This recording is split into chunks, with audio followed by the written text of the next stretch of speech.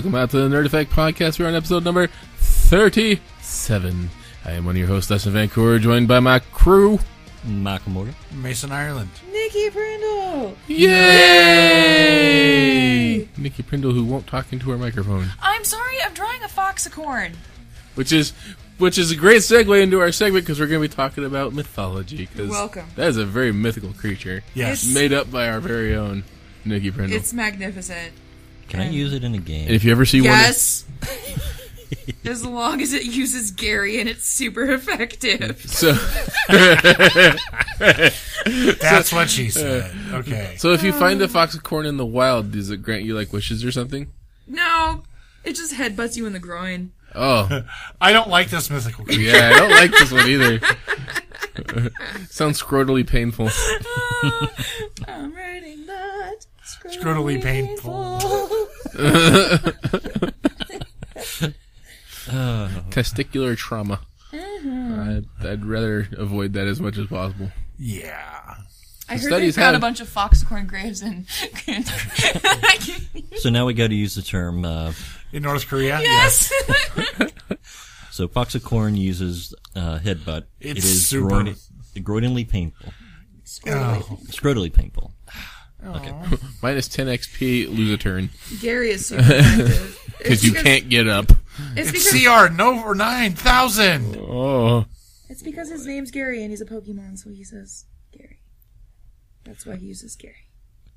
It's super effective. He's kind of cute. By the way, Yeah, I make wanna- a reflex save to avoid that one. Oh, you fail. Yeah. Make a reflex. Oh, you fail again. What am I rolling against? Three thousand. It said it's super effective. oh, ultra super duper effective EX plus alpha. Mm-hmm. Good job, Dude, we're in a Street Fighter game? yep. Yeah. If you roll Good- twenty-three, good job, like what, three thousand times in a row? No.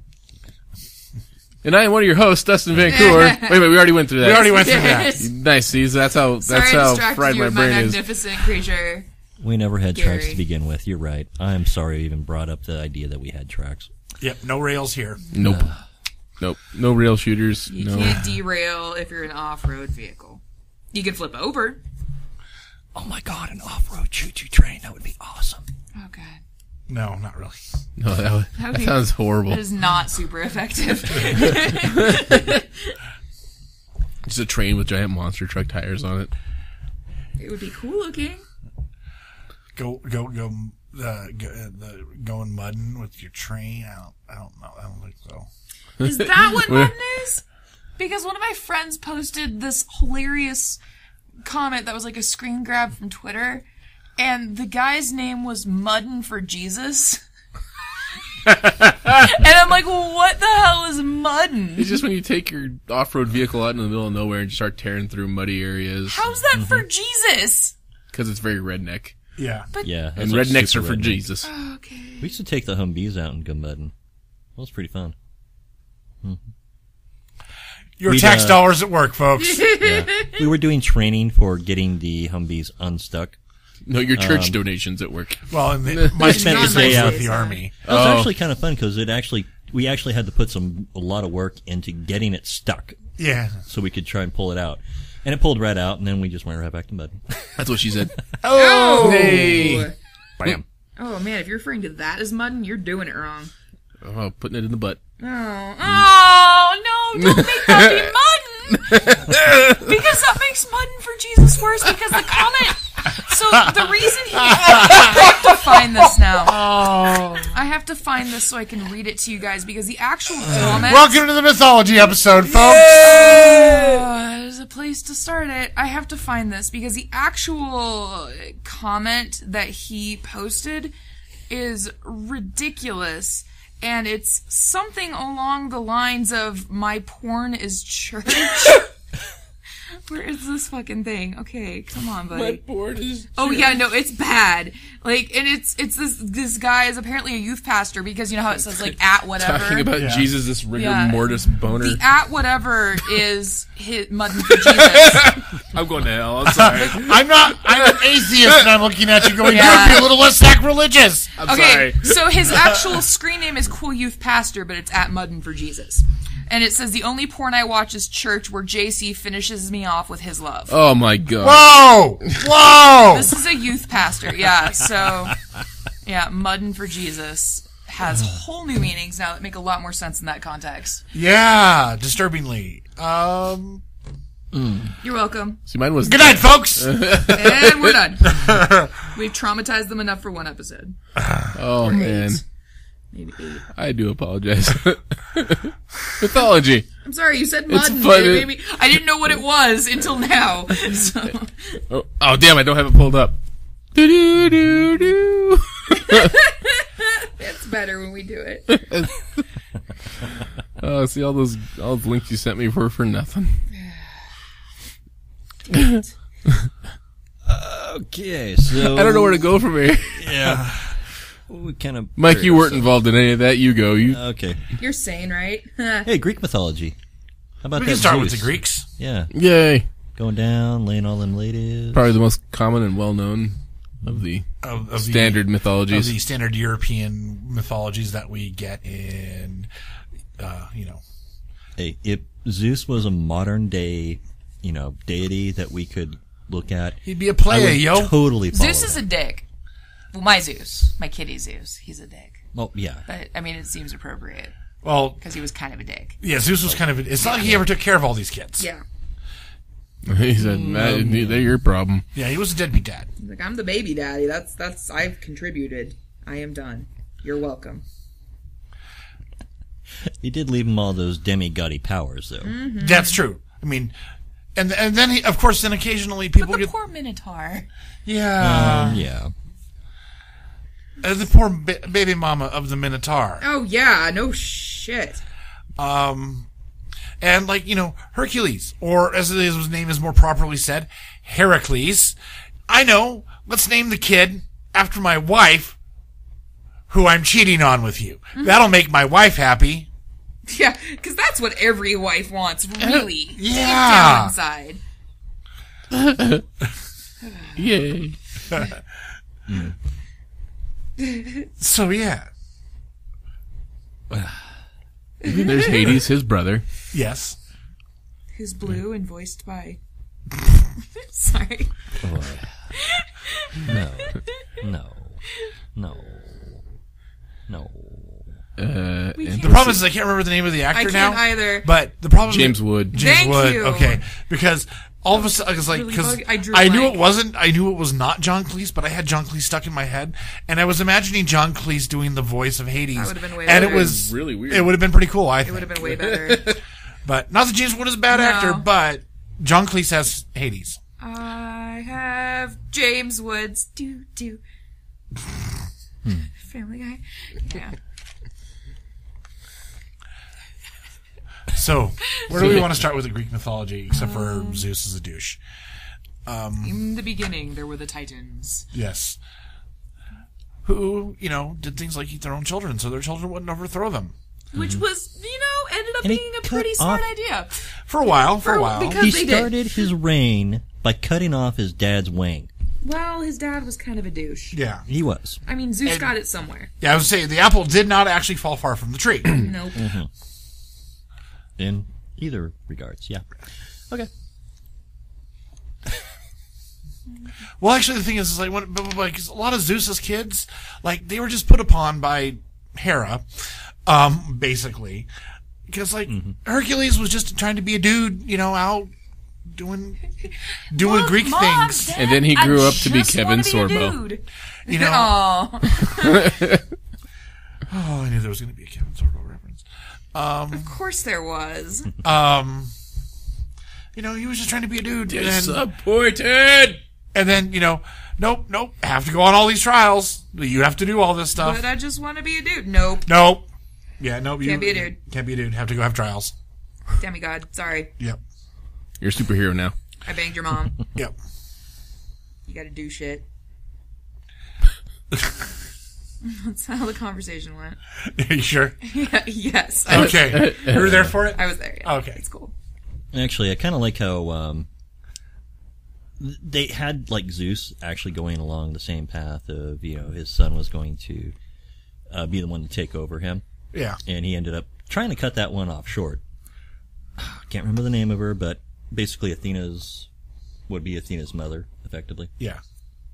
But um, yeah, it's like he had to, you know, talked to the prophets and found out that the, like the second born, which was going to be a son Yeah. from this one chick, was going to be the one who overthrows him. Right. So he tricks her and eats her. so that wouldn't be a a problem. of, uh, she was already eating. pregnant with Athena at the Yeah. time. And so what she do? Well, she inside Zeus's head makes the uh, armor and all that for Athena, and basically um, that's why he's got the headache and the banging in his head and all that. And he goes Yeah. to, uh, oh god, what was his name too? So many of them. Uh, Hephaestus, Hephaestus. Hephaestus, Yeah. who uses his axe to cut Zeus's head open, and then pop, Xena comes out fully, you know, Did you Fully say born. I, I, he did. I heard He it. did. Okay, you meant Athena. Athena. You were just thinking about your cute kitty. Yes, I was. She is so damn cute. So yeah, Athena comes out fully formed. He's got the armor on and everything, and you know, like, hey, screw you, Zeus. Yeah. Here I am. so You're not my real dad, but you are. Was- I mean, But it's confusing because it's Greek mythology. yeah, because they say you know she just forms fr- spon. It's like so they say it like she forms spontaneously from her head, when actually there is a backstory to Yeah. where she came from. Yep. Yeah. And that's one of the things about like the Greek, uh, the Greek gods in general, and actually a lot of gods, um, from back in the day, was that they were flawed. They were more like us. You know, they weren't perfect being. They were never hmm. envisioned as being perfect beings. They were just way more powerful than we were, and there were less of them. Mm-hmm. Yeah, a lot of inbreeding. Mm-hmm. Lots of mm-hmm. inbreeding, yeah. Of course, that wasn't as uncommon back in the day. No. Mm-hmm. There's also a lot of bestiality. Zeus. Uh, yeah. Uh-huh. I'm gonna be a bull. Is it still bestiality if it's a god in animal form? I don't really know how that works, but I'm gonna anyway, go with yeah. I'm gonna go fucked up. Is fucked up an answer? Yeah. Fucked up is an answer. Okay. Fucked up is a perfectly valid answer in that case. Yeah. So yeah, Dustin, being the one of us who probably knows the least about mythology in general, mm-hmm. what questions do you have, if any, so far? Well, I was gonna say, and then there's Poseidon, father of Ariel. Oh god. Oh. Thanks, Hans Christian Andersen. Okay. Um, No, that was actually they called him King Trident in the Trident. cartoon, yeah. It's the same. but it's Yeah. the same dude. I don't care. What Well, yeah, but uh, Santa Posei- Claus the with the the Poseidon uh, the Poseidon myth um, did persist for a long time. Uh, same same as uh, Manannán mac Lir, the Greek or the the Celtic equivalent of the Greek god Poseidon, um, because sailors They're liked having their own gods and being superstitious about it. Um, and, and somehow the, the the the the deities of the ocean always got horses. I'm still not sure on that one, but seahorses. I can understand how like the crashing of waves. thundering to the hooves, yeah. Yeah. But yeah, the yeah, um, but There's also probably some hallucination due to malnutrition. pos very possibly, little scurvy going on, you know. Mm, scurvy. Oranges, no thank you. Uh, I would rather have the scurvy. Yeah, that's it. No. um, and for anyone who thinks they would rather have scurvy than eat an orange, go look up the effects of scurvy. They're not pleasant.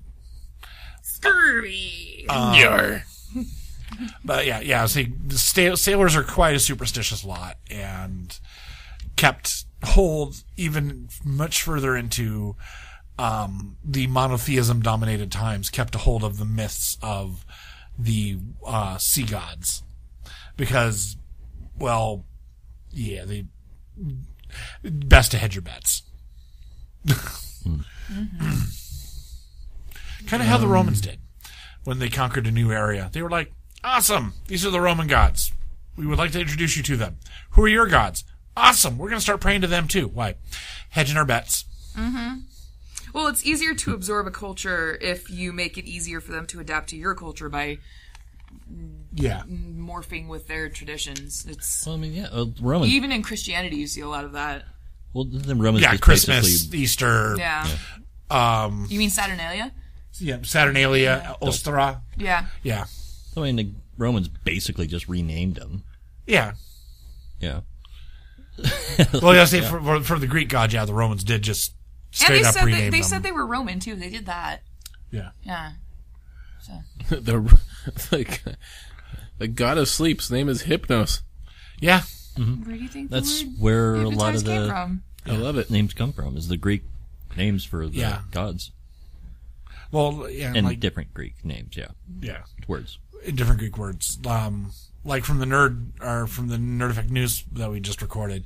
Um, they there was the when you were talking about the name of the shrew, they where they got the um, m- mikros. Mm-hmm. That's the Greek word that became in English micro. Micro. Yep. Yeah. So. yeah, and yeah. Actually, I'm going to check on that. Go ahead. Okay. Now I'm curious as to what you're checking on. Yeah, I, I too would like to know. Well, it's going to take me a while to find it, but I'm wondering if that was the name of the one that was Athena's mother. Because Zeus tricked her into being small so she, he could eat her. Oh, that might be. Uh, no, I think mikros is just a word. Okay. Because I could have sworn it started with an M, but, you know. Yeah. And then there's the greatest Greek myth of all, in my opinion. It is the Great Snub. Please tell us about this snub because you've mentioned it at the beginning of the show Yes. before we started recording. Well, see, one time there there was this party that was going on. Oh, so mm, mm, mm, mm. Well, more like lyre and wine and grapes, and nectar and ambrosia. These were the Greek gods, after all. They were all up on Mount Olympus. Except for they didn't invite everybody. Mm, that's some good sacrifice. Yep. They didn't. Except for they they were a bunch of bastards, as has been previously noted, and did not bother to invite everyone. And there was one very specific goddess they did not invite.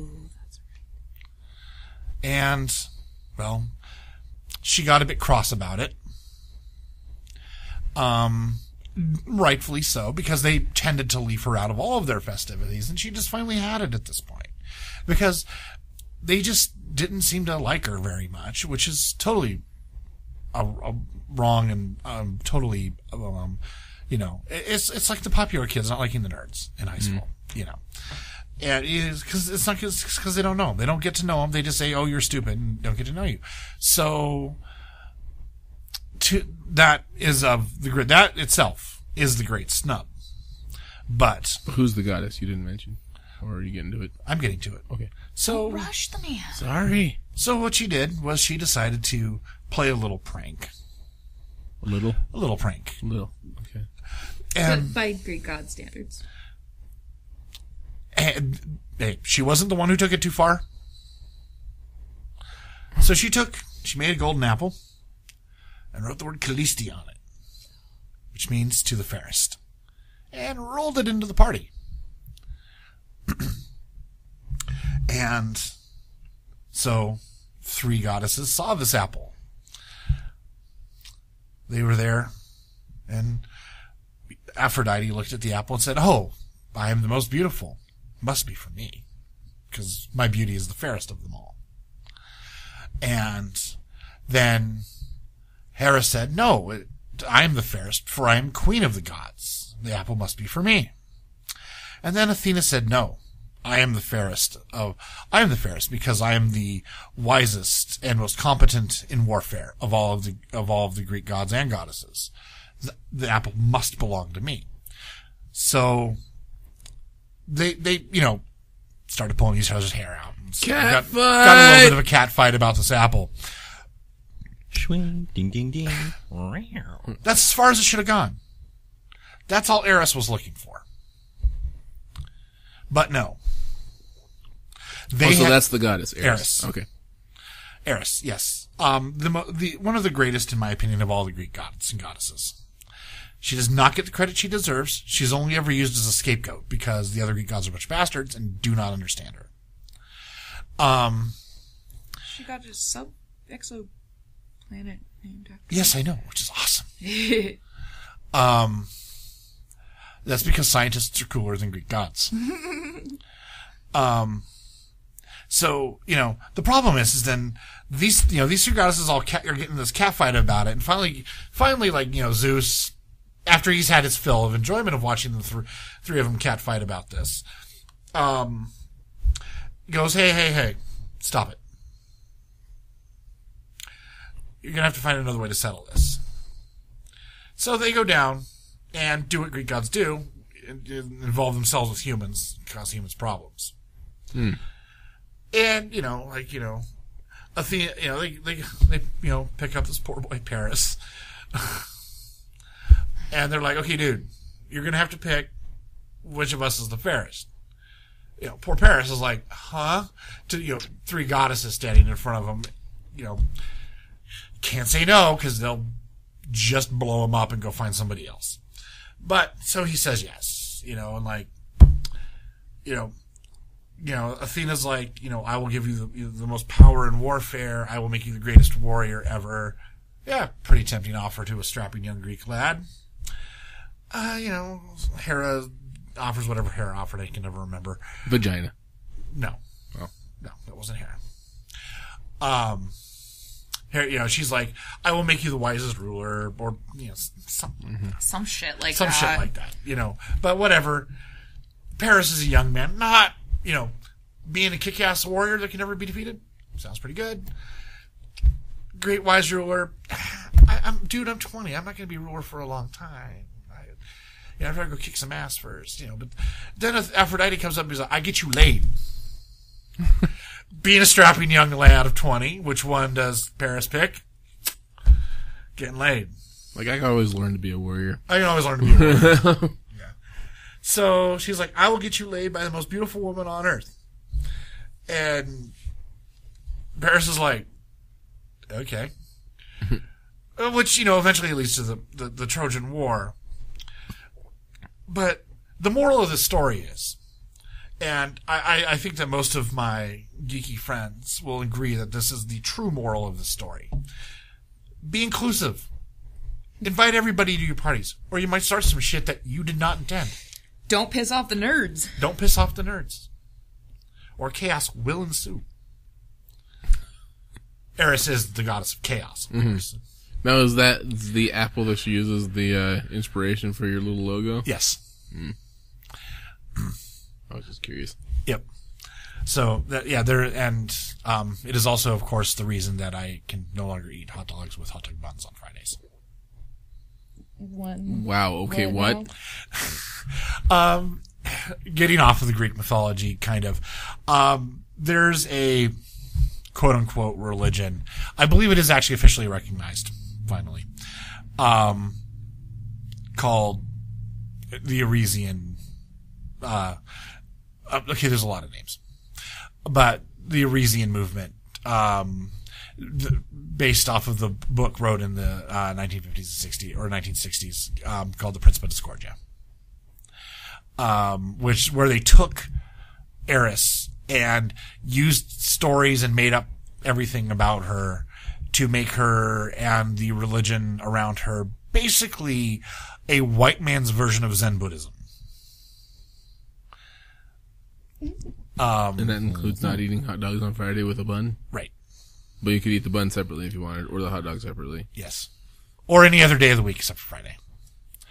Of course, you're not actually, as an Erisian, required to follow any of the Erisian rules. Because that would just be restricting what you're doing, and you don't want to restrict your own chill. So, I generally, even on Fridays, eat my hot dogs with hot dog buns. So sounds a lot like uh, dudism. Dudism is kind of inspired by um, the Erisian movement and also the Church of the Subgenius. So, I am a. I am a. Uh, I could marry you under the dudism nice. if I wanted to. Cool. So if you're ever looking for a for a Big Lebowski themed wedding, call me. I'll be there. All right, serving White Russians, is, but only if you're wearing your uh, slippers and robe. Ooh, White Russian flavored cake. That would be awesome. Fucking somebody make that happen. I bet it has. I'm pretty sure it has. They have boozy cake flavors are a big thing. Yeah, I know they are, but Yeah. I, I've never seen. I've never heard specifically a White Russian cake before, though. yeah, I mean, Kahlua in a cake. pretty awesome. Mm. Google. Yeah, What's the Google say? What's the Google? thing? Actually, well, he's looking at a. It was uh, Metis. Metis. Okay. Yeah, so Metis and Zeus are effectively the parents of. There's White uh, Russian cupcakes that popped up. Nice. Oh, those could be converted. Uh, I was yeah, that's a cupcake recipe. You know what the difference between a cupcake recipe and a cake recipe is? Bigger pan. bigger. Yeah, a bigger pan. Um, Longer baking time. yeah. White Russian cupcakes on Food Network. Four out of five stars. Not too shabby. Uh, No. d- d- eggs cup. What's where's the alcohol? Okay, you need Irish buttercream, vodka. Really, why would you bother putting the vodka in? Vodka, good vodka doesn't taste like anything. It's just gonna cook out. Yeah.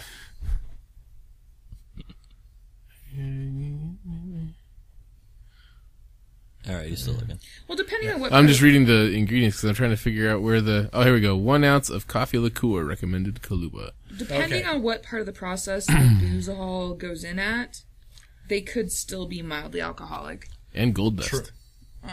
I've seen boozy cupcakes that are actually boozy. Yeah. I also saw a thing for um, I am totally gonna wine make those. jello. I've seen wine jello before, Yeah, yeah. that looks pretty good. Um, and I've also seen schnapps jello. Yeah. So The you can only have. kind of schnapps I like is peppermint schnapps. See, I don't like schnapps. I just in general. Peppermint schnapps in hot cocoa is the greatest thing ever to happen to Boise winters. Just Boise winters, not in winters anywhere else. Well, I've never had them during the winter anywhere else. So Oh, okay. No, I can't make that claim. Okay. Why would you want me to be dishonest? I don't want you to be dishonest. I was just checking if anywhere else but boys. Well, whatever. You're encouraging me to lie. I am not encouraging you to lie. Do not appreciate that. No means no.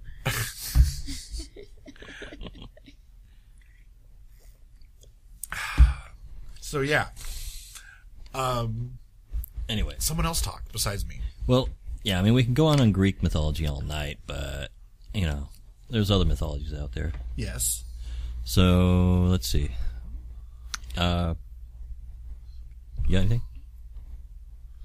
You, you look like you were saying something. Well, No? if you No. wanted to touch on, which might but hurt some people, things like modern religious mythologies. Well, actually, the first thing that popped into my head. Re- how about how about this? Let me take it to the obscure here. Okay, I might have had Mm-hmm. How a about story, but myths that's fine. generated by the internet, aka Slenderman?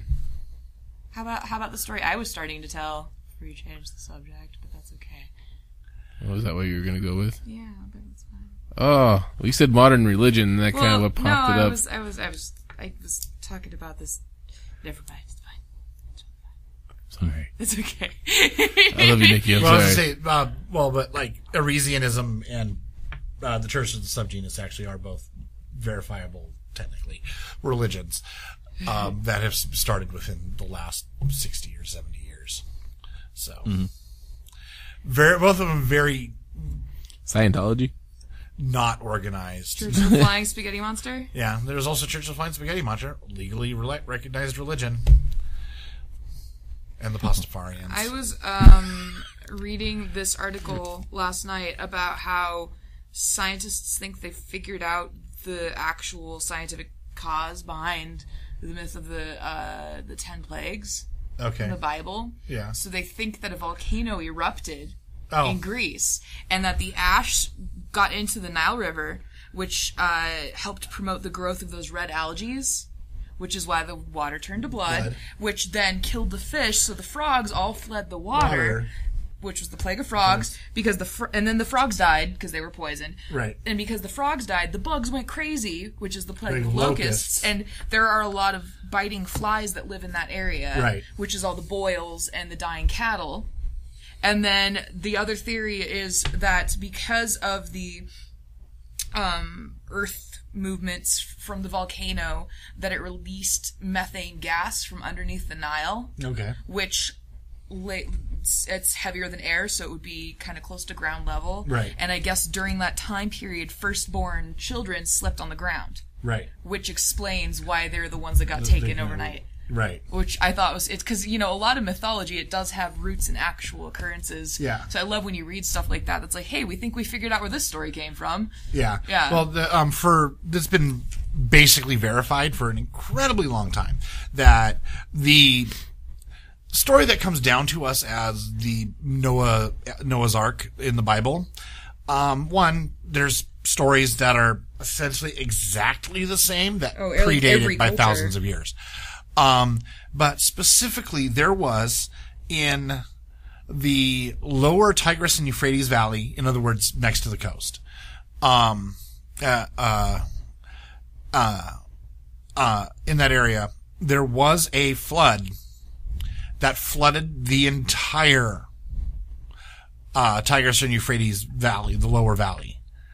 Um, so that was they're they are fairly confident due to the the the language chain um, that that is where the myth of Noah came from is that specific flooding. Because according to the people who lived there that was their entire world flooding. So yeah. They're pretty sure that's where the myth of Noah actually comes from. So they're wasting their time with the satellites that are up there to look for Noah's Ark. There was like some weird ass story like several years ago, like I'll say like ten years ago, where they said they found what they thought might be Noah's Ark off like they found a the coast of, of. Florida or something, or Maine, or No, it was like in the Antarctic. I think they found it several times. yeah they It's- they found they Noah's find Ark a few piles times. of wood in the shape of a boat, which after thousands of years, it probably wouldn't be in the shape of the of a boat or piles of wood.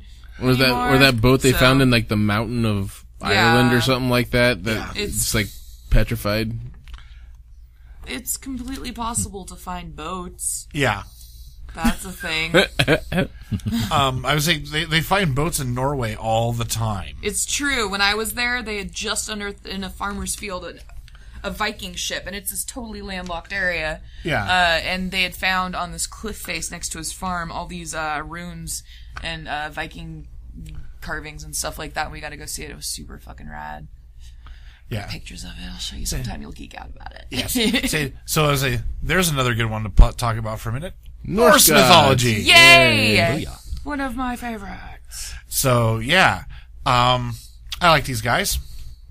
They pretty much only have two things on their mind: eating and drinking, and okay, fighting. So I thought you were gonna go with the other F. and, yeah, and- there's and, two F words they really like. and okay, and fucking. Okay, okay, they got four things on their mind, I was but gonna say fornicating, but that works too.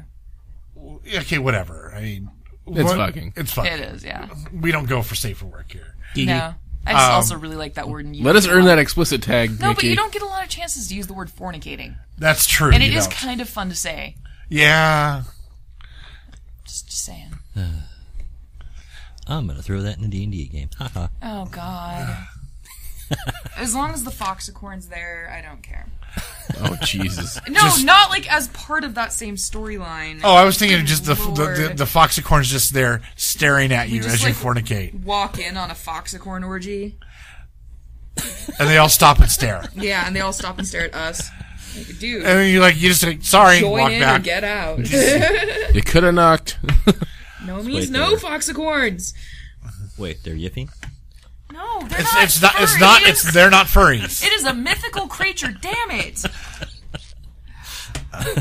Going home. He's your ride. Hello, hello, hello. Okay. Um, but yeah, um, Norse. the Norse. Um, yeah. See, if there was any one destruction of the world I could get behind, it was the it was the Norse destruction of the world. You know, because like, you know, it's like you know, like a lot of mythologies talk about you know evil taking over. Some boring. No, the, the the Norse know how to write a destruction of the world myth. You ever read through Armageddon? That is some like hardcore metal shit right there. Oh yeah.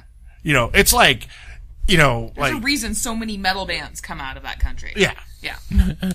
um, it's because their entire mythology started. Their mythology started metal, basically, is what it boils down to.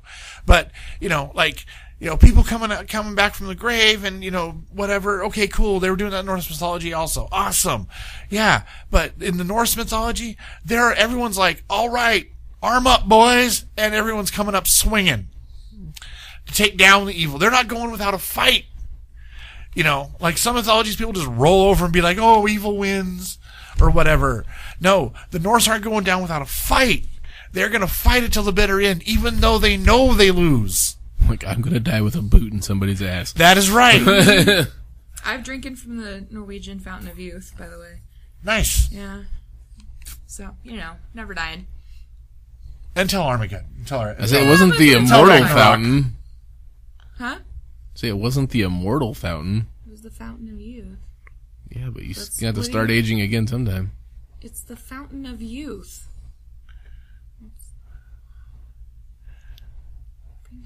Um, I was saying, I'm kind of I liking just the sci- realized that you had a box of crayons. fuck you, I'm an adult. I can't find my markers. So you carry crayons as a backup. Awesome. Yeah. Oh, As that's any awesome. I just- self-respecting adult would. I just out of nowhere, I just like there's a box of crayons in front of Nikki right now. And it's missing the color red, which is really bothering me a lot. And I Make don't, some orange and brown. like I've got the white. Who the fuck uses the white crayon? That is good Racists. for construction. Have you seen the "We're totally not racist" box of skin tones that Cra- Crayola has? Uh, yeah, we actually have our own version of that at work. Oh, do you really? It's actually a really handy box of crayons. I just love that they choose to illustrate it with children of all skin tones on Yes. the front of it. See, um, We accept the fact that we've been racist for the majority of our existence. Here, have this box of browns. Like, well, it's because all humans fall onto the brown spectrum. I know. Technically, I know they do. I don't. I'm a little too white. yeah, I'm, I'm a slight shade of pink. oh, this I is think. called apricot now. I think it used to be peach, didn't it? Yeah, but Flesh tone one. why would you change the name from ap- peach to apricot? Whatever. They're both fruits. And neither one of them's really that color. No. It, they just didn't want to call it white person, is what it is. Oh, okay. Yeah. Sorry. Crayons are really racist. European. Caucasian. oh, crayons. Yes, I have crayons, and I'm using them to color my foxicorn. Don't judge me. They're really fun to color with. I used to bring coloring books to classes when I was a college student. Coloring books? Yep. Mhm. I didn't get good grades for some reason. Hmm. I don't know Gee, I wonder why. Yeah. Skipping It- class, bringing coloring books. Yeah. Let's pause the show real quick. Nikki, what are you doing? What are you? Oh, I'm going back to school. Yay, for what? Yay. Hey, for graphic design. Yay. Awesome. Also, by the way, can I use our logo for my portfolio to get accepted into the art department? Yay! Yes. Yes. Yay! you have to apply now. What? I have to like I have to give them a portfolio of my work and write up fucking artist statements, which I've always hated doing. Artist statements are oh, you looked at me when you said that. I was like, I have to apply for No, what? you thought that when I told you last time. I too. know, but you looked right at me right when you said because you were sitting where I'm looking. And also, you're the other artist in the room, so she's probably looking for a bit of sympathy from Yeah, you. because I think oh. it's bullshit. Because I mean, yeah, I didn't get good grades, Oh, it but is I was bullshit. already a, I, I was already majoring in graphic design, and they want like they want like all these different mediums and shit, and I yeah. Like I'm not worried about the graphic design end of my portfolio. I've got a pretty decent portfolio built up in the last year. But but they want all the other stupid. yeah, all the other stupid shit that I'm not going to be doing, But you, some for some reason, have to know how to do to. kind of like math. I have to retake math. Um, Oh, math one twenty four is not. Oh, I'm gonna take 025 to start with because I failed 124 last time I tried to take it, and that was Okay. seven years ago. I'm pretty sure it wouldn't work out this time around. But yeah, Nikki's going back to school, so Yay! full time work, full time school. What? What? What schedule? Sleep? I have caffeine. Thank And a very much. podcast? Yep. And hopefully some modicum of life. Probably not though. like doing homework while we're doing the podcast. I'm planning on doing it on my lunch at work. That's what Jen does. Yep. Anyway, Norse Yeah. gods. Norse gods. So, yeah, that's uh, yeah. So yeah, I don't know. Somebody else talk, please. I don't want to run the whole show. yeah, Most knowledgeable though. Um, You really are. Like I know stuff, but I don't know stuff in a forming thoughts kind of. Name a few of these Norse gods. Thor, Sif, Frey, Freyr, Freya, Odin, also Wot, or or also called Wotan, which is where we get the name Wotan's Day, which became Wednesday. It's true. It's true. I knew that one. Thor's Day, Thursday. Yeah, we got a lot of. Saturday, Surtur's Day, which is one of the fire giants. Um, I Hell, thought that was off of Saturn. it could be. It's I don't know. Either. I've heard They're I've so heard similar. Surtur's Day more than Saturn's Day. Okay. So It could just be, hey, these words are similar. Let's name a day after them. yeah, Make twice as many people happy. yeah. You tell those people it's named after those gods, and those people it's named after their gods, and then don't tell either one of them who it is, really. Like, So yeah, usually but yes. Um, let's see, Loki. Say, and of course, Thor and Loki are probably the two most famous right now. Uh, thank you, you Marvel can movies. walk over to Trisha's cubicle, and there's calendars and posters and action figures right now. All of Tom Hiddleston. Hi, Trish. I think she listens. Actually, she's more into Chris Hemsworth. Oh, okay. Yeah. Yeah, she she likes Thor. She likes Thor. Okay. That's actually her symbol for telling if reports go to her is Thor's hammer. Oh, nice. Yeah. Mine's Mario. Raise your hand if you're surprised. Nobody raises their hand. Yeah, not totally not surprised on that one, Dustin. Eh, well, it was handpicked for me. Yeah, I would have been surprised if you were surprised. Your surprise would have surprised me. Surpriseception. What? what? A surprise within a surprise within a surprise? A chalupa?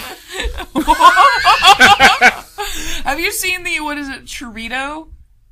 I think is what it is. It's like a ch- chalupa that's got beans wrapped, smothered around the outside, and then it's wrapped in a tortilla or some shit like that. I don't. I think it's a chorito. It's something ridiculous along those lines that they've got at like Taco Bell or some shit now. I'm I've like, given oh. up on Taco Bell. Oh, I would say say taco. Uh, the, I new, went to the, Taco Time last week, and the newest- better than I remembered. the newest screwball thing I saw from Taco Bell was the um Fucking waffle taco. no Oh, Jesus. That made me want to bash my head against Yeah, the me wall. too. um no it was a burrito wrapped in a quesadilla. What? Quesarito. That's what I was Quesarito, thinking. yeah. That's what I was thinking about. Yeah, it's a I just burrito. remember it was Mexican food wrapped around Mexican food. That's all I Yeah. remembered about it. Yeah. Oh, Lol. I love Mexican food. Actually, uh, the the crisp burritos from Taco Time. Are crack. They are. Yeah. And they're cheap. We went there and I spent so much money that they were like, "Here, have some of these cinnamon sugar chip things." I was like, "Okay."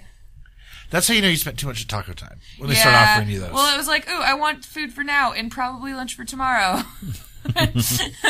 oh, so much food. so This yeah. is making me hungry. So anyway, some you, Other you were- mythologies. other mythologies, modern mythology. Yes. Yes, you, Such you- as such Neil as Gaiman. yes. Okay.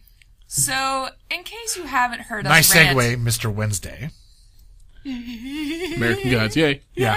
Um, Speaking of that, how are you doing on that book, Nikki? um, I haven't had a chance to read it this week, but I'm still mostly done with it. Okay. How's your book coming? Oh, Have you cracked it? about How's having a toddler Two and a job and a pages. podcast? so, you know, if you wanted to, you could just buy us coffee. That'd be okay. You'd rather actually lose. yeah. Let me lose first. Okay. So I want to lose Okay, with I'll I get want on to lose it. with dignity versus just giving in. Okay. okay. You realize we'll get to make more fun of you this way. I, well, But okay. yes. Um, Okay, just checking. Modern mythologies. Neil Gaiman. Yes. Gaiman. Neil Gaiman. Um, if you haven't heard uh, us rant about what an amazing human he is, Probably the best uh, modern living author. period. yeah, um, y- he's amazing, and he uses not only like all of the mythologies in his books, He blends up- them expertly. Yeah, blends them expertly. Stays, I think, fairly true to what the original character of the gods would have been envisioned by the people that worshipped them. Uh, like Lady Bast Yes. in Sandman. She's my favorite, of course. Lady Bast was awesome in Sandman. She's a kitty. Um, but Well, that's the thing. She actually acts like a human Yeah. cat hybrid in she does. comics. She acts exactly how a human cat hybrid would act. Yeah. I love it.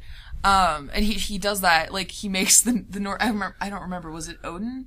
Yeah. Yeah, he makes him a drunk, ragey, short, Yeah. douchey person, which is just freaking hilarious and fairly accurate to Yeah.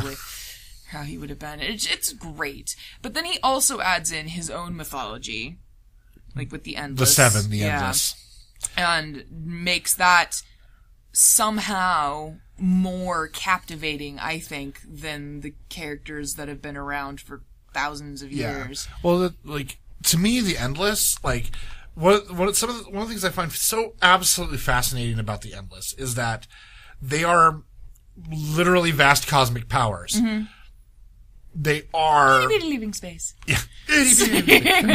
oh, for a while, Sandman had an itty He bitty did. living It's space, true. but That's why I said that. um, but they they are their essence.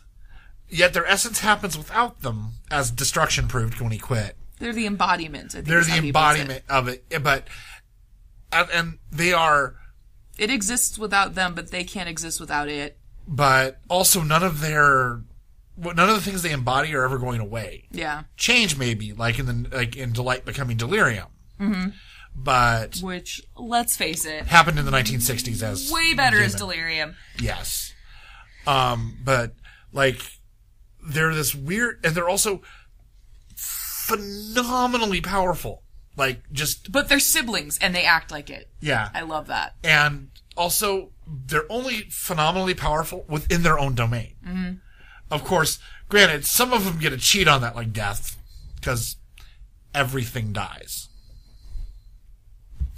Um, uh, she put it one time. Um, she she was the last one out, and she locks the door to the universe on her on her way out, And turns off the light. and turns off the light. Turns off the light to the universe and locks her door But on then, the way like, out. she'll randomly meet with Dream and they'll feed pigeons. Yes, Because, you know. that's what brothers still and haven't read sisters those, do. have you? You haven't read those yet, have you?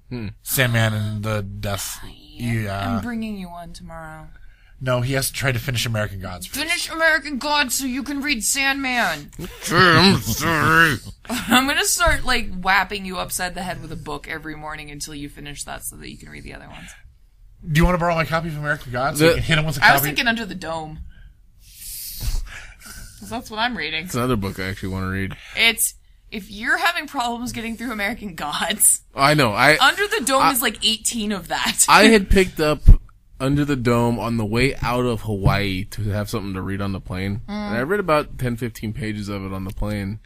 And then for some reason I just couldn't. it's Stephen King. I It's re- slow starting. Well, I read through the intro, like the Yeah. the prologue or It gets really Prologue? fucked up. prelogue, pre, pre Prologue. preface. Preface. Yes. And uh and uh it basically they people are flying and they go whap. All the crashy things. Yeah. yeah. Even that I don't think was as interesting as when he really gets into the mental what have you. You know, that's something to tie in. Some of his stuff is sort has sort of become modern mythology, like Pennywise the clown. Yes. Uh, uh, How about the boogeyman? Boogeyman is definitely modern mythology.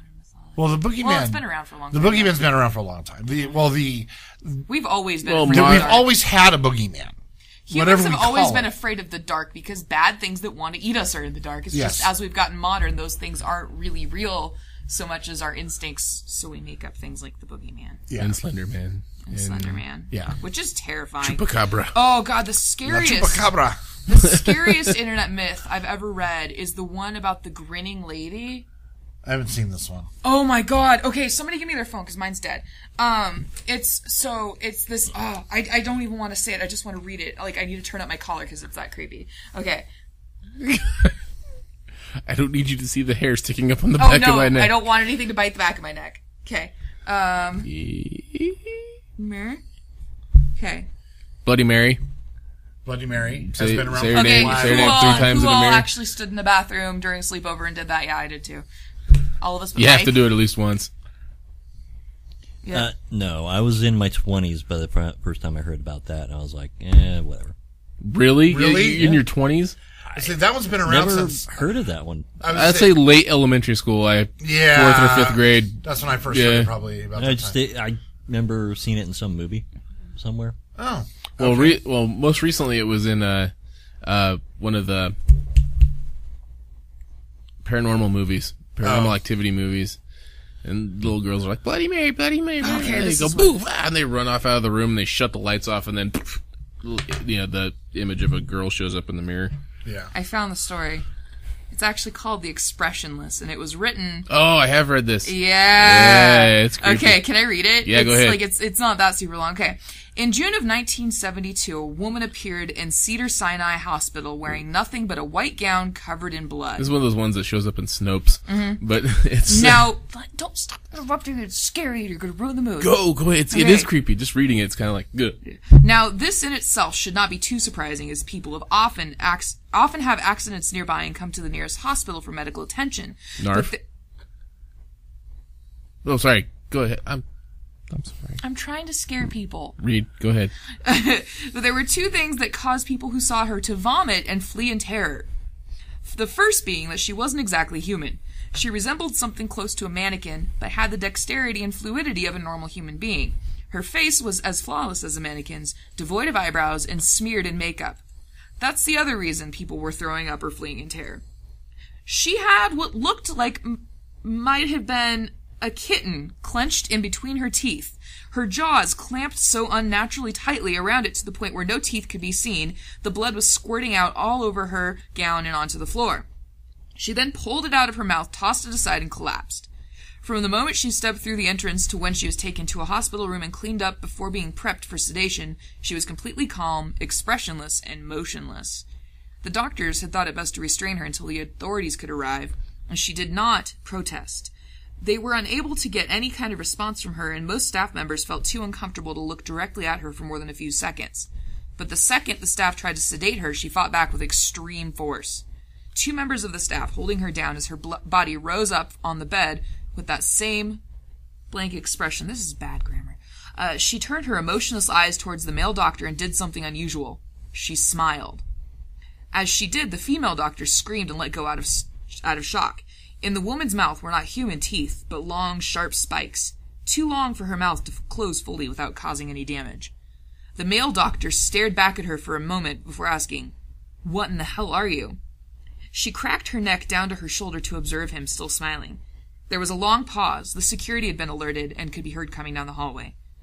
As he heard them, she darted forward, sinking her teeth into the front of his throat, ripping out his jugular and letting him fall to the floor, gasping for air as he choked on his own blood. She leaned up, or she stood up, leaned over him, her face coming dangerously close to his as the light faded from his eyes.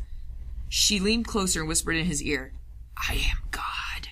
The doctor's eyes filled with fear as he watched her calmly walk away to greet the security men.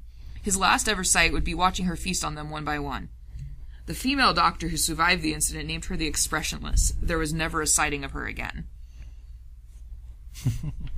Super spooky. It was for like a, sh- a, a short story, horror story contest, but a lot of people think that it's like an actual supernatural thing, and you'll see it posted on sites that don't check their facts. Oh, yeah. Bigfoot. Oh, Bigfoot's a There's good one. one. Ugh, that story creeps me out though. And there's a super creepy picture up on top of it. It's like one of those pictures that you'd post see in those uh the scary story books you used to read in elementary school.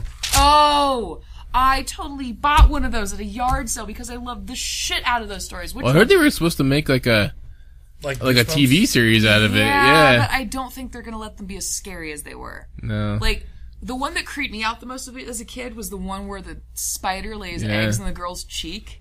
That's the most that's the most memorable one for me for most because reasons. the illustration is traumatic. They should not have had those in children's libraries. Like my mom would take them away from me before dinner because if I read them after dinner, I would have nightmares. yeah. Uh, expressionless. We should post a link to that that people could Just putting this out there, but the TeeFury shirt for the day is uh um it's like a crossover between Doctor Who and Where the Wild Things Are. Where the Wild Who is. You need to stop telling me about these. Yeah. Um, Saying also with modern mythology, um, it's kind of interesting to see some of the things that have changed, like in comic books, but even in more general like superhero comic books because Sandman, while produced by DC, is not a superhero comic book. No. I think the closest he gets to having a superhero show up is Constantine shows up once. Again, not a superhero, And Um, he's smoking. and he smokes.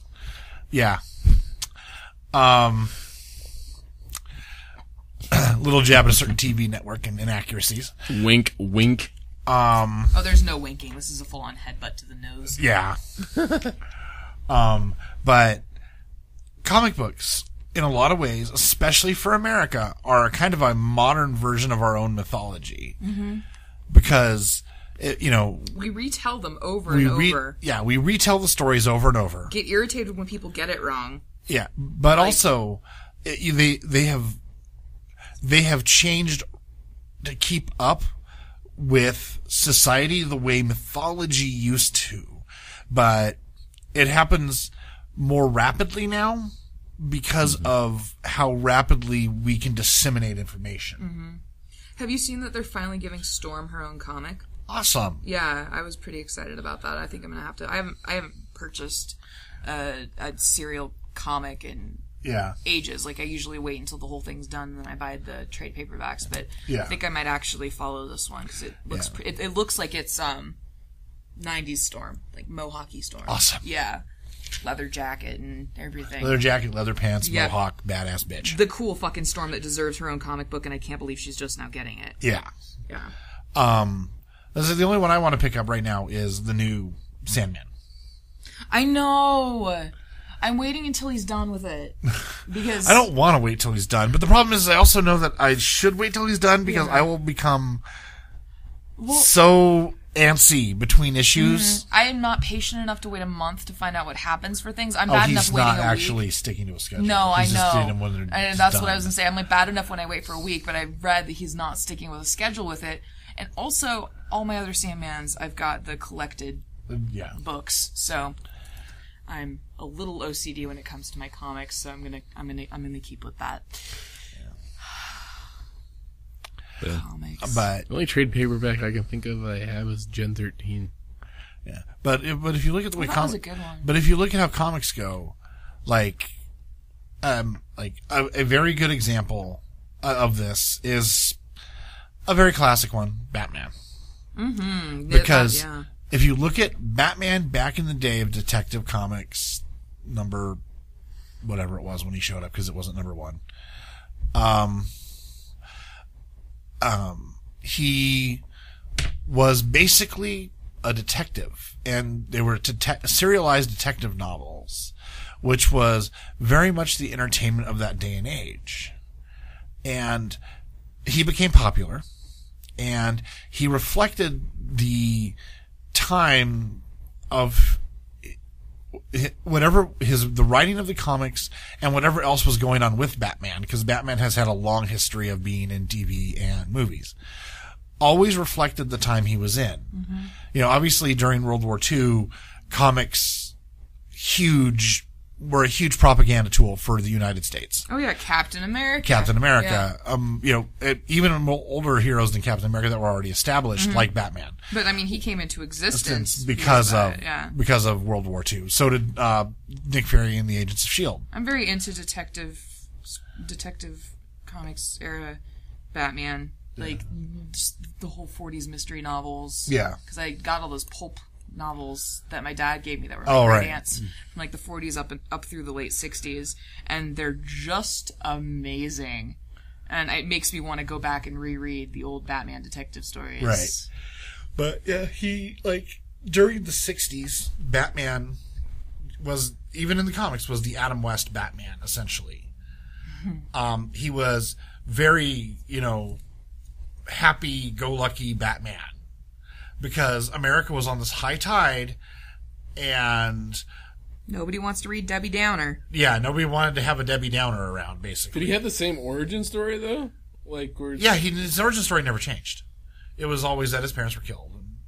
He was just super stoked about it. He was just he, he didn't let it bother him. I guess. is Why would you put let that get you down, man?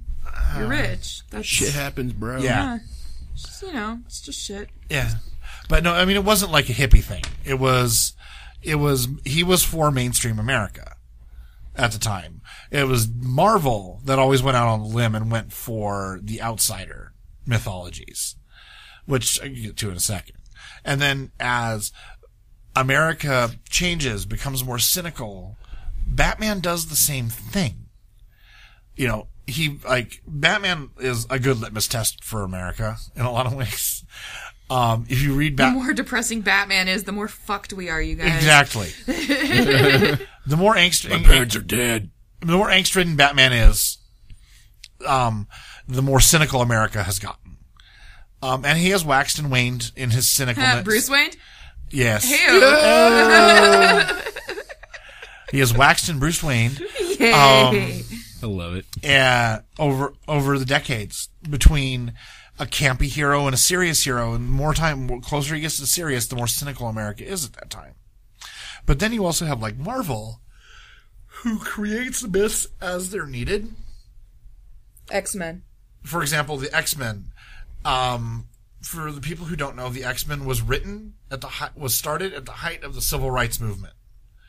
They are all about acceptance of the outsider and those who are different, and not um, you know segregating or subjugating those who are different. I, in particular, I'm a huge X-Men fan, and I think that might have a very large bit to do with Yeah. that. Yeah. That's the mainstream comic that I always Yeah, liked in every way, shape, and form. Like X Men movies, they can make them as shitty as they want. I will still love the fuck out of them because they're X Men movies.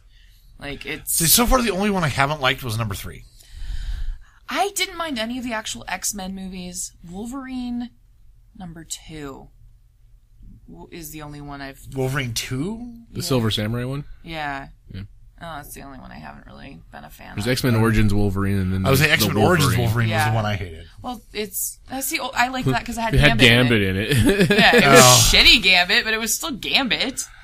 I'll take what I can get, thank you. But but look what they as did long to as it's Deadpool. not fucking Channing Tatum. What? Sorry.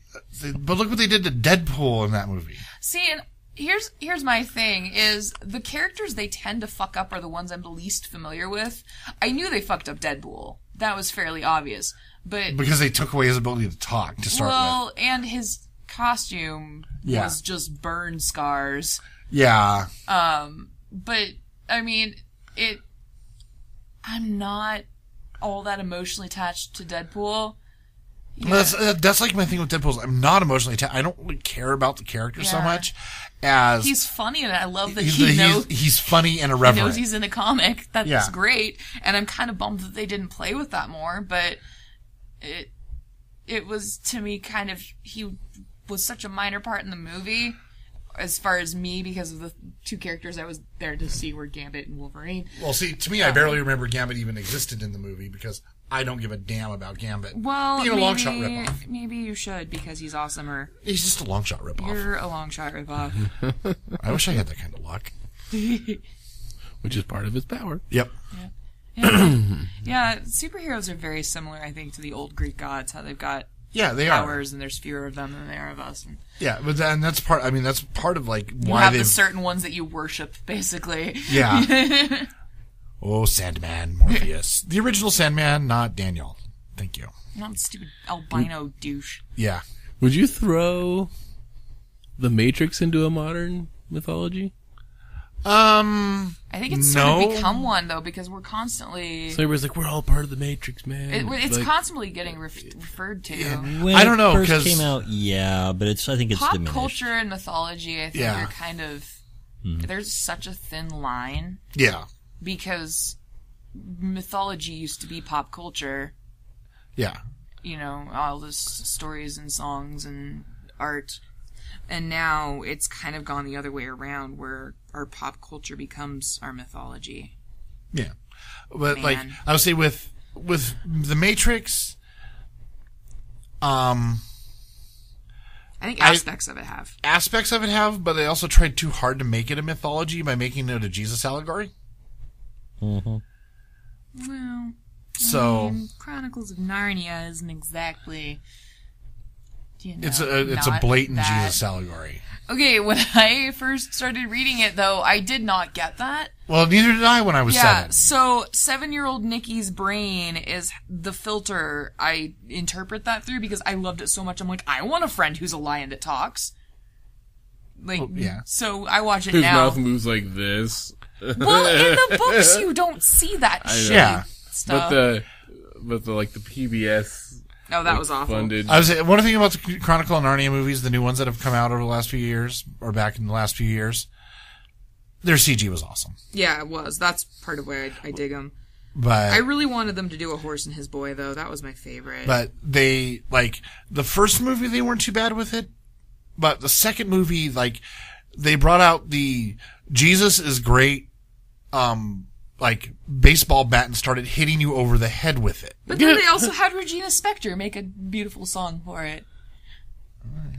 I like Regina Spektor. it, soundtracks like I like soundtracks. I don't like. sound- It's like you know I don't know. Sound to me, my I have a love hate relationship with soundtracks because I generally I generally tend to like sound, movie soundtracks that are not specifically built for the movie, but they find songs that work within the movie. I think the, I think the last Like, soundtrack that I Queen of the Damned. Um, oh, Queen of the Damned was badass. That was really good I think that was actually probably the last re- uh, soundtrack I ever bought. Last one I ever bought was Repo the Genetic Opera, like Yeah, but two that's a musical. weeks ago. Well, and the last one before that was Moulin Rouge. I only tend to buy musical soundtracks. I've noticed, Moulin or Rouge.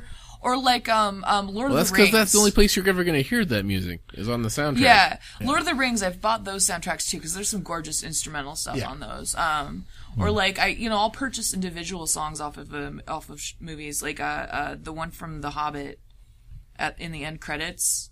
okay. Uh, it's a really gorgeous I song. Oh, fell, yeah, it's I by, fell uh, asleep Ed long Sheeran. before. Yeah, I don't like his other stuff. I listen to it, but that song is just it's gorgeous and haunting and yeah, it's great. Yeah, um, I was like, I fell asleep in The Hobbit before the end credits. So I mean, it's a it's it's a movie about walking a lot, I know that's why it didn't need to happen, Yeah. and they could have sped that up and made less movies.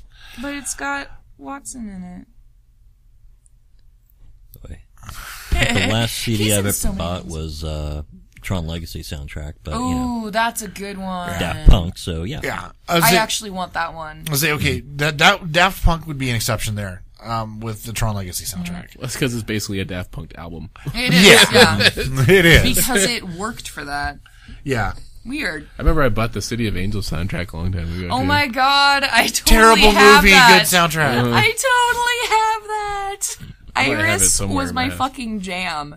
What? Iris was my fucking jam. Iris is a good song, but there was one by uh oh fuck.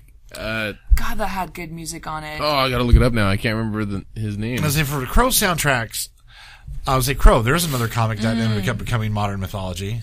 You know, I actually had the soundtrack to the third one. I never saw it, but I bought the soundtrack because of certain songs that were on it. Yeah, that were I really was say good. my my favorite soundtrack for the Crow is still the first one, but This one that's got a hmm. cover of "While My Guitar Gently Weeps." That's like super gothy emo sounding. Is it really goth good. sounding or emo sounding? There's a difference, and it's an Well, important it's difference. just angsty. It's been a while since I've listened to it. It's just generally angsty, is what I remember about it. Ex goth, not emo remotely. the um, Craft. That was another Craft really good fucking soundtrack, soundtrack. Yes. I didn't know Oh the god, I Craft watched that movie so many times. We decided we were going to be Wiccans, and we didn't know what that meant. yeah, that movie. Hello. Hey, buddy, how's Facebook? we're doing, we're trying to do a podcast here. yeah. Did you still have that turned on? Very unprofessional. Yeah. I don't know. But Okay. um, as was the that was my favorite soundtrack for the Crow for the Crow movies was the original one, Mm. but that's because of well the Cure, uh, Yeah. Burn. Yeah. So Oh, Peter Gabriel, I believe. I grieve. That was Oh. a good song. Oh, Peter yeah, Gabriel that was awesome. Yeah. I uh I have two soundtracks to Moulin Rouge. They came out with two of them. Right. Because it's like Repo where there's so many fucking songs. They don't have a lot of options as far Yeah. as fitting them all onto one CD. Yes, kids, that's a thing that people used to buy, and some of us still do. I don't. Personally. I bought Repo on iTunes. That's the most money I've spent on music in probably five years. But yeah, I don't. I um. I I just can't see buying a CD anymore. When all I'm going to do with the CD, Jesus, dude. I'm sorry. You gotta warn people before you do that. I knew I was gonna be that loud. I apologize. Nobody And needs why- Goo Goo dolls that loud in their ears. Because she brought up Iris earlier. Ah, that was I hate myself for having done that. I liked that song in sixth grade. And then and then the that 90s ended. stopped. Yeah, exactly. The 90s never ended for me as I sit here in my flannel and my neon shirt. That's true. yeah. Oh, my bad. I'm sorry. I love flannel the only as a lesbian child of the 90s can possibly love flannel.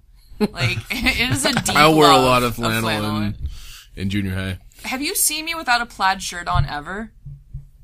Probably, but Maybe during like lunch workouts because who's going to do that? But my A dedicated child, lesbian child of the 90s. It's not even intentional. I just like them.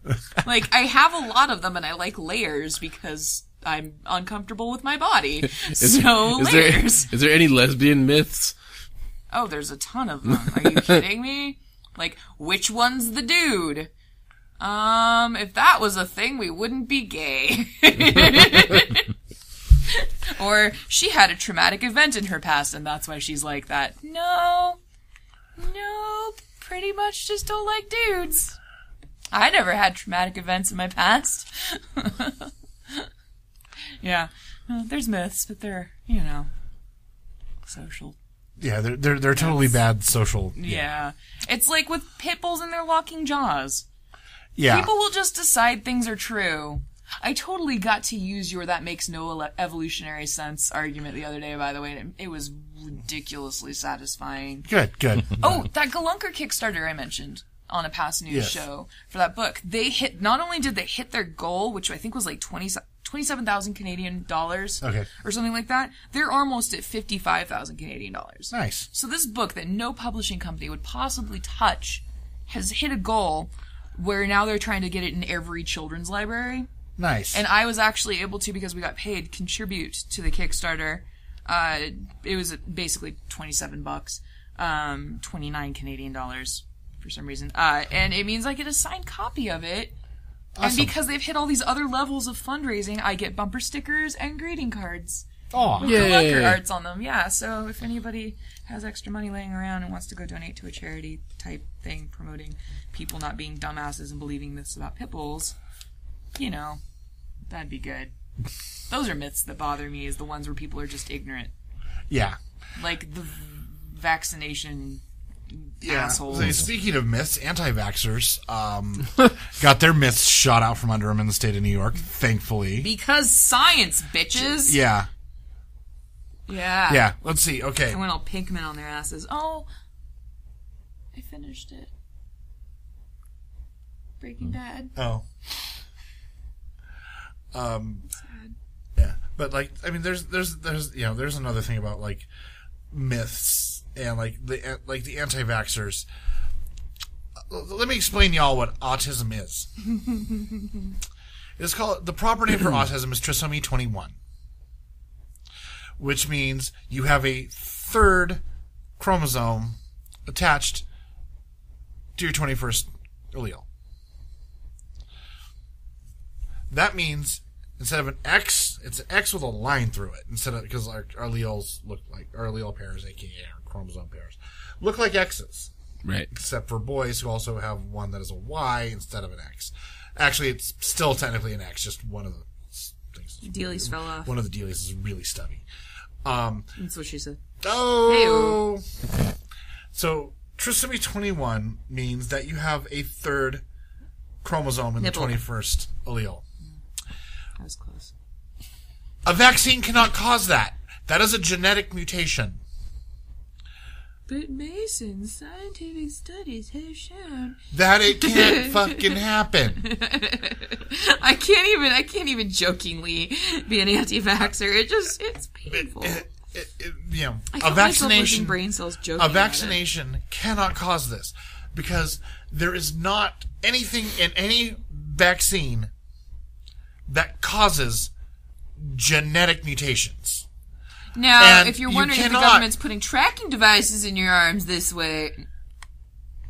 Oh god, you looked like you were gonna punch me. I was totally joking. Sorry. I think you just physically hurt I him by saying that. Mason, buddy, I'm sorry. You know I don't really think these things. I know, it's just, it hurt right, really It hurts bad to right heal there. it, yeah. Um, but, Right in the science It feels. hurt you in your brain place. yeah. And I pride my brain place on being large. Um, Ooh, that's what she said. Yep. Um. so, yeah, the, the the the cause of autism is an extra set of genetic instructions. A vaccine cannot give you an extra set of genetic instructions, especially in every cell of your body.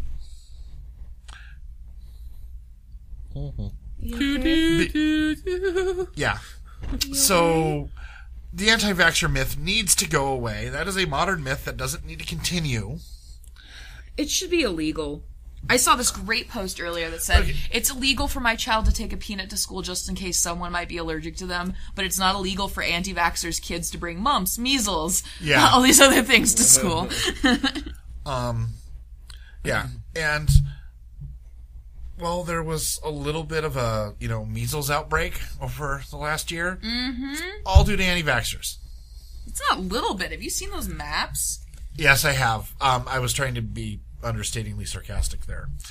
Um, but yeah, it's it's it's the anti-vaxxers' fault that measles is coming back. We had it basically eradicated, at least from the first world. And there are certain people out there. Herd immunity. Jenny McCarthy. No, No, he's talking about people that can't get vaccinated. I'm talking about people who cannot get vaccinated because it They will. depend on the rest of us to not be jackasses Yeah. to not die. Yeah, they basically our herd immunity uh, by being vaccinated protects these people because they cannot have a vaccination because it will kill them. Anti-vaxxers put these people at risk. Now, there is a certain amount of evolutionary argument that can be made that says these people should have died off anyway. Oh, harsh. Uh, it's true though. You can say that about anti-vaxxers too, though. But I can also say that about anti-vaxxers because evolutionary, they're dumb. Um, but the problem is, I can't blame the children of the anti-vaxxers who are actually the ones getting hurt because most of the anti-vaxxers had parents who vaccinated them because it was the law or everyone just did it back then. It's So- like the guy I saw riding his motorcycle on the freeway shirtless without a helmet on. You know, He should be if removed that from guy the gene pool. dies, it's probably for the best for the future of humanity. Yeah, Because that's stupid. Yeah. but yeah, so yeah, anti-vaxxers. There's a myth that needs to go away. It won't though, because there's still going to be people who ignore the scientific studies. Just like Right. it's just like with pit bulls. It doesn't matter how many studies you have out there with actual evidence. People are going to just read the headline on some jackass's blog post and take that as fact over actual studies because it's easier than being informed Yeah, and and changing your opinion based on facts. Yeah. And, you know, that, that of course, see, I, I know that's one of the beautiful things about science is it's right whether you believe it or not. Yep. Thanks, Neil. Yep. That doesn't stop millions of pit bulls from getting killed every year, but that's okay. Unfortunately. Yeah. Sorry. Those are some myths that really anger me is the ones that affect the lives of other animals. Yeah. Like it's all animals have an equal right to be here. It we're just jackasses. Except for maybe chimps. Chimps are assholes. Yeah. I'm just kidding. Stick blades of grass. in. Who, who now dress themselves up with blades of grass. They're all fancy. Yeah. I think mosquitoes and are actually the one animal that I would argue we could probably do without. Yeah. Because bats eat other things. Yeah. Most creatures who eat mosquitoes don't survive solely off uh, mosquitoes. They'll eat any bug. Yeah. Maybe bats just like a challenge. Maybe mosquitoes are douchebags and should just be gone. So- hey, Right. buddy, I'm going to eat you and give you diseases. Don't. Thanks, mosquitoes. Do you But- think someday, after all the humans kill themselves off and the chimpanzees take over, they'll have myths about us? Probably. Probably. That'd be awesome. Well, there's plenty of monuments sitting around Yeah. that I'm sure that they would. They would, yeah. They would have to, they Re- would recognize there was a species there before. Plus, Remember, there was a statue. chimps do really kind of already know of our existence. It's not Mm-hmm. like we hide from them or they hide from us. Oh yeah. Remember, So- there is the Statue of Liberty on a a- beach. Oh, yeah. I was just thinking more in terms of by the time they were intelligent enough to pass on these stories and memories and have Right. a written language and all that. Yeah, we'd probably be long gone. If it ever happens, there's If it happens, yes. yeah, there's a lot of mutation that is required to get from them to us, which is why we're different than them. So And good chances that anything that kills us off is going to kill them too. there is also a very good possibility of that, yes. Because them orangs and gorillas are really, really close. And the mm. bonobo are really people. close to being people. So Don't worry about the planet Earth not, you know, carrying on and anything. The planet's going to be just Fine. fine. It's us that's not yeah, gonna be so great. it's us that's not going to survive. Isn't that survive. Neil deGrasse Tyson said something? Yeah. along those lines? Exactly like and many, many other climate scientists. Yeah, He's a very quotable guy. Yeah. but but climate change is a myth No, it's because we're not. talking about myths. Uh, I get so tired of people. no, saying shit Republican like that. brains are a myth. oh, Like just politician brains in general. That's true. I don't even think it's a partisanal. the one that really hurts my brain is the one about draining the energy from the sun. Oh, yeah. I mean, God. I That- don't see who could possibly. Idiots. Which, believe by the way, And Bill idiots. Nye met those guys. And I was bet like, they ignored God bless everything you." he said. huh? because that's the fun thing about people like that is you can have as many facts as you want. They will ignore them and tell No. you they're ignoring them. No, I'm saying Bill Nye met the guy who made the met the people who made the solar roadway panels. Oh, I Oh, thought you were yeah. saying Yeah. that he met the people who said Yeah. that they No, were he just met going the to drain people- the sun. Yeah. Oh yeah, they had a picture taken. No, I'm pretty sure he just walked that, make them all stand single file so he can slap them individually. yeah. So we're about an hour and 20 minutes into the show, and I'm pretty sure 20 minutes of that wasn't actually spent about talking myths. At least. Lol. But, I uh, think 20 minutes of it was is more. yeah, probably. cause we like to ramble. Especially late at night on a Sunday. I apologize, guys. I was a lot less prepared for this show than I thought I was. Yeah, well, me too. we didn't really do a lot of actual topic discussion. oh So yeah. it's I got tired of talking by myself. I talked a little. I interrupted about three or four times. I drew a monkey. Yeah, but Hey, I was trying to contribute, and then I got my facts all mixed up and had to look them up, and I was just letting Mason go from there. I was just like, nah, I give up. I'd rather hear you talk than me talk. It's way less exciting to me. but I think the idea. Anyway, let's stop. We should probably stop. We should. Yeah. I'm buried at. I me no form Head sentence mic. is good.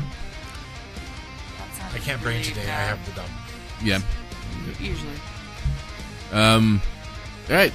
Well, we hope you uh, enjoyed this episode of the Nerd Effect Podcast. We have been your loyal hosts, Malcolm Morgan. Mason Ireland. and I am Dustin Vancouver, and we will catch you guys in a couple of weeks. Yay!